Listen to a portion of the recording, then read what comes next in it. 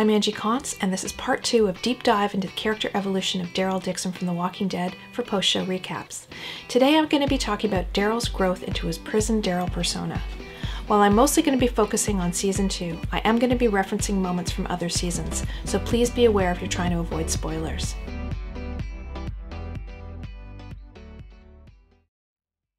The first episode of season 2 shows us the dramatic change from where we last left Daryl. He's working in tandem with T Dog, scavenging through cars and siphoning gas like they've been stealing other people's stuff for months. Next, Daryl saves T Dog from walkers, not once, not twice, but three times. How is it T Dog stayed alive this long anyway? I'd say he's over any racial issues he may have had. Daryl is irritated at Dale for not letting him know that T Dog was sick, as if he's assuming that he couldn't or wouldn't help. Why'd you wait till now to say anything? It's my brother's stash. Daryl could have very easily kept Merle's antibiotics for himself, but he's showing the group again and again that he's there to protect them. He's even giving them Heisenberg's blue meth. What's he got to do to show his commitment to these people? It's first class. There's still tension between Dale and Daryl, as Daryl feels that Dale is always questioning his judgment and integrity. You let her? I'm down out of my ass, old man. Rick Center. But when Sophia goes missing, Daryl starts tracking her immediately. It becomes clear that he has skills no one else does, and Rick lets him lead the search. Dirt, grass. You want a lesson in tracking, or you want to find that girl and get her ass off that interstate? When the group becomes split, it's Daryl who offers to stay behind in case Sophia shows up. With all of his emotional and cultural challenges, he's tentatively becoming a reliable leader within the group as best as he knows how. But this doesn't come without a struggle. The Walking Dead has these moments where the characters overcome massive traumas and are reborn as tougher, more authentic versions of themselves. For Glenn, it's being captured by the governor. For Carl, it's killing Lori. For Carol, it's being locked in the tombs for three days. For Rick, it's killing Joe the Claimer. Season 2's Chupacabra shows us Daryl's moment, where Daryl's conflict between his Wild Thing persona and his role in his new family comes to a head. This episode is all about chasing illusions. For Daryl, that means chasing the illusion of finding Sophia. It also means chasing the illusion of Merle being the kind of brother Daryl needs him to be. A chupacabra is a blood sucking reptilian dog with legendary sightings not unlike the Loch Ness Monster or Bigfoot. Daryl claims to have seen a chupacabra for real Z's. Daryl is willing to believe in the impossible. This wild dog represents the brute survival instinct that he has had to develop. It's about him reaching down into the core of his own strength and self reliance. This is not the last time a dog is used to represent Daryl. In season 4, we see Daryl trying to coax a stray, one eyed dog to come into the house with him and Beth, but like Daryl, the dog is too afraid to trust people. And last, the final illusion that Daryl is chasing is that he could survive all alone without other people. At the beginning of the episode, he has a very telling exchange with Rick. You okay on your own? Better on my own. He believes he is stronger alone, he hates relying on others, and his insecurity about where he stands in the group is confusing to him. Got a point? We're just chatting. My point. It lets you off the hook. You don't owe us anything. Remember that Daryl is struggling with this idea that he's not seen as an equal by the other members of the group. Rick and Carol have been the only ones to treat him with respect. But Rick makes a critical error in this scene. By referring to Daryl as you and to the group as us, he makes it clear that in his mind, Daryl is still not part of them. Daryl goes off searching alone for Sophia. The search for Sophia is very personal for Daryl. It gives him a purpose, gives his abilities value.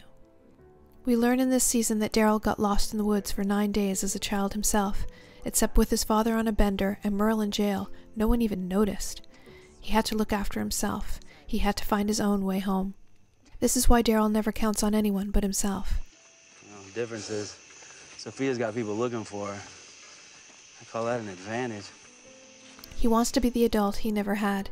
He's looking for his own lost childhood, trying to make right the wrongs that were done to him. To give up on Sophia is to say that he himself wasn't worth saving. Daryl wants to be with the kind of people who care when a child goes missing, where a mother's love is unconditional. On his search for Sophia, Daryl finds her doll in the river. On his way back, his horse spooks and throws him down the steep ravine back into the river. Son of a bitch. Oh. This is the very first line out of his mouth in season 1, which is a clue that he's reverted right back to where he started at this point.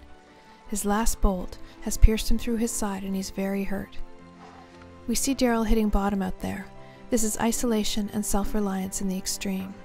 He has to climb a steep ravine with a bolt through his side. He goes from being the tough redneck to the scared little kid, lost and alone in the woods. He chastises himself, the survivor, the chupacabra in him trying to toughen him up. Oh, come on.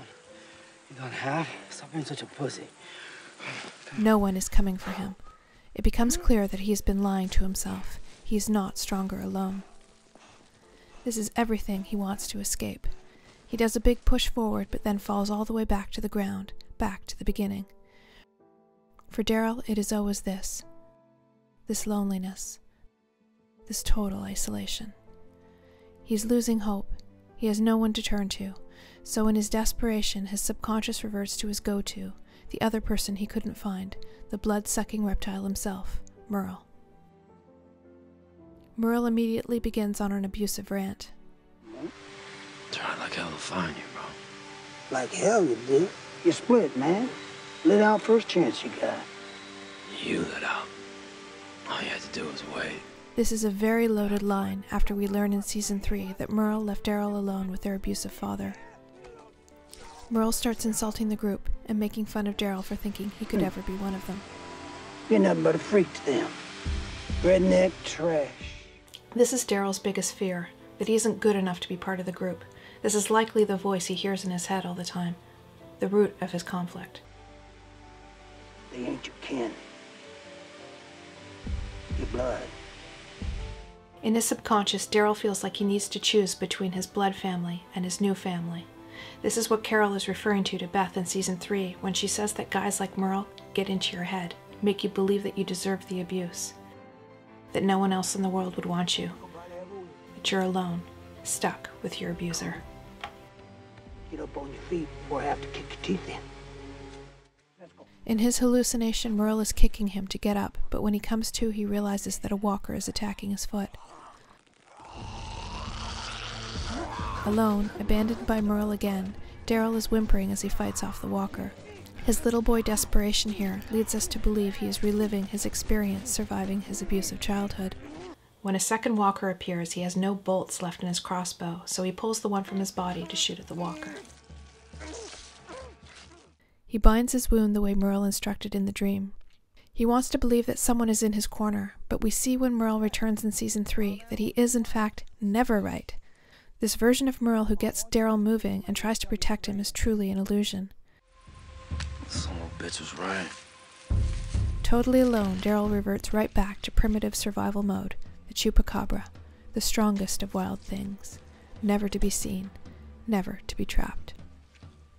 Stripped of all emotion and need for others, Daryl eats a squirrel like a wild dog. He makes a trophy necklace out of the zombie ears and tries to climb the ravine again. Merle appears to him again on the climb up, but this time he is not helping Daryl.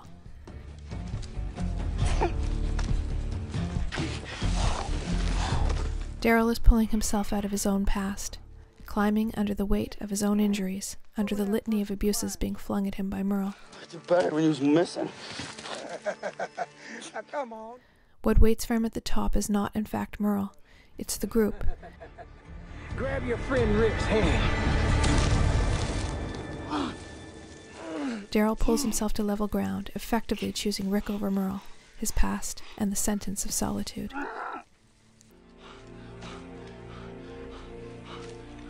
Yeah, you better run. When Daryl returns to the farm, he is so beat up and wild they don't even recognize him. Rick raises his gun like Daryl is a rabid animal. They don't know him. They've never seen him like this, at his worst, his most raw. He looks Rick in the eye and challenges him. It's the third time you pointed that thing at my head. You gonna pull the trigger or what? He's calling him out, saying, If you think I'm an animal, then shoot me. If not, start treating me like I'm part of this group. It's a very rational and civilized argument, but before Rick can answer, Andrea shoots him. They all rush to Daryl's side, giving Daryl his answer about how they feel about him. They pull off Daryl's zombie necklace so that Hershel doesn't see it, but this is also a symbolic gesture. Daryl doesn't need to be the wild dog alone in the woods. They carry him to a bed inside the house where he is fed and healed. Unlike Merle, they take care of him. He's part of the group and doesn't need his necklace to survive anymore.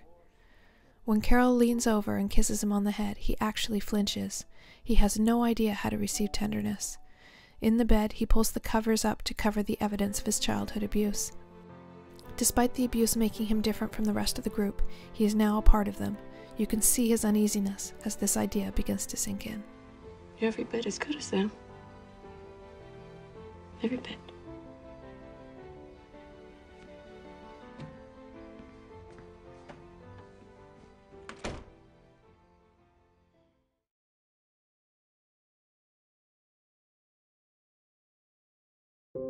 Rick can no longer rely on Shane. Slowly, Rick is relying more and more on Daryl instead. It becomes very clear after 18 miles out, when Rick and Shane almost kill each other, that something has to give. There's a reason why they're showing us Daryl's back with the angel wings in this scene. Just in case we missed it, Daryl is the guardian angel of the group. He is pure, unwavering, never faltering, hopelessly loyal, utterly responsible, willing to do anything for the group. That thing you did last night. Ain't no reason you should do all the heavy lifting. But who is this Daryl on the porch? Just two days before, he was this guy. What are you doing? Keeping an eye on you. Get you a peach. If you spent half your time minding your daughter's business instead of sticking your nose in everybody else's, she'd still be alive. What the hell happened in between? Dale happened. Don't underestimate the influence Dale has on Daryl. He's the complete opposite of Daryl intellectual, sophisticated, mature. Daryl sees Dale as everything he is not, everything that holds him in contempt. While Carol insisting that he get mad at her so she can show him that there is nothing he can do that will make her stop caring for him is critical on an emotional level, having Dale also accept him on a moral level is far more life changing for Daryl. The loss of Sophia and his inability to find her has deeply affected Daryl. When the group are holding Randall prisoner, Dale goes to talk to Daryl where he has isolated himself on the farm. The point of me coming up here is to get away from you people. Gonna take more than that. Dale is telling him that he's part of the group whether he likes it or not. Dale represents their humanity, what's left of civilized society. He's just a kid, Dale says of Randall. This is exactly what Daryl says about Noah in season 5. Damn kid. This shows how Daryl becomes more civilized the more he matures. Who says we're civilized anymore? Oh, the world we know is gone. But keeping our humanity? That's a choice. Daryl fears that Merle is right, and the members of the group, like Dale and Shane, see him as mere redneck trash to be scraped off their shoes. Shane picks a fight with Daryl. In his police cap, Shane pushes him into old patterns, and Daryl even calls him a stupid cop. You can see that Daryl is surprised when the group sides with him. A doll. You know what the hell you're talking Man, look, about. I'm just saying what needs to be said. You know, if she was alive out there, saw you coming, all methed out with your buck knife, your geek ears around your neck, she would run in the other direction. Shut All right, wait, just, just, just stop. Hey, hey, hey, I'll beat right down, boy. Back off. Keep your hands off. Shane is becoming the outsider. Daryl knows that Shane killed Otis without anyone telling him, and he knows that if Rick doesn't see it, it's because he doesn't want to. Daryl is so perplexed that Rick would choose a man like Shane over him, he wants no part of them. It's like I said, group's broken. Shane is against all the people making rules, that it's the rules that complicate things. But Daryl needs rules, a code. That's why he and Shane are incompatible. This is why he thinks he's better off alone. As long as Shane is part of the group, the group is broken. But this is where Dale flips the script on Daryl. Torturing people? That isn't you. You're a decent man. So is Rick. Shane, he's different. Dale has completely changed his opinion about Daryl, and Daryl doesn't realize it until this moment. Your opinion makes a difference. Never in Daryl's life has anyone like Dale said anything like that to him. It's at the group meeting right after this uh, uh, conversation that we first see Prison Daryl. He's the gravelly toned, rock solid voice of reason. Just another mouth to feed. He's Rick's right hand man, with only one thing on his mind protecting the group at all costs. If we do this, we're saying there's no hope. Rule of law is dead. There is no civilization. It's becoming clear that Dale's morality has no place in this world. His civilized world has been murdered and him along with it.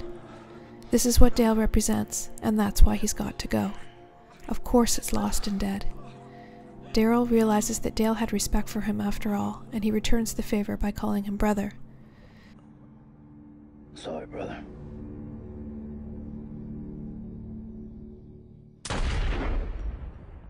Dale could, could get under your skin.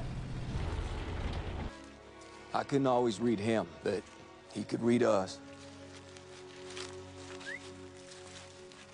Saw people for who they were. He knew things about us. The truth. Who we really are.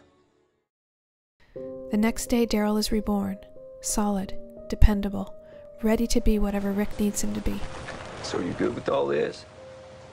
I don't see you and I trading haymakers on the side of the road. Don't be to win that fight. Daryl is saying as clearly as he knows how that he is not Shane. At the end of season two, Rick is frustrated with the group doubting him. I'm keeping this group together, alive. And I've been doing that all along, no matter what. I didn't ask for this. I killed my best friend for you people, for Christ's sake. Notice that Daryl is the only one not freaked out by this. His expression here is one of pure awe and respect. He's the one who saw Shane for what he was, and was resentful of Rick not facing it head on. By this sacrifice for the good of the group, in Daryl's eyes, Rick has proven his worth and commitment. A true kindred spirit, all his doubts are extinguished. More than any other character on the show, people are constantly calling Daryl's name. Daryl? Daryl.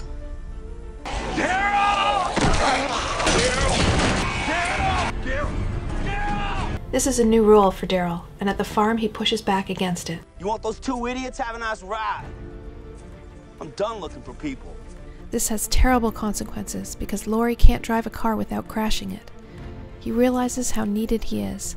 The next time Lori asks for help, he's all. You got it. Thank you. He rescues Carol from the farm after it's overrun by walkers. He's on his motorcycle watching the fire burn. He's just chillin'. His life is fine.